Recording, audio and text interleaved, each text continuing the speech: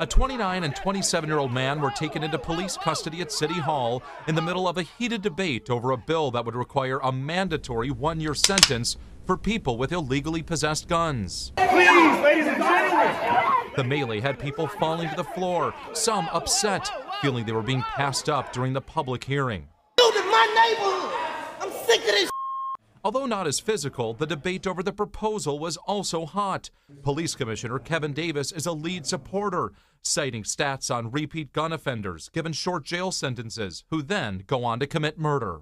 I've spoken to people like you all have around Baltimore who are shocked that the simple illegal possession of a handgun, which in our city is an act of pre murder, is a misdemeanor offense. But on the other side, opponents raise issues about racial disparities. Some members of the council leery of all mandatory minimums, period. We need to see a complete and comprehensive violence reduction strategy before even considering something like this that we know historically doesn't work. We've been there, we've seen it across the country that mandatory minimums don't work. Amendments that limit enforcement to second offenders and guns used in connections with crimes ease some concerns, eventually passing in committee by a wide margin. It's a tool uh, for the state's attorney to use uh, in order to get those uh, folks that are carrying illegal weapons off the street.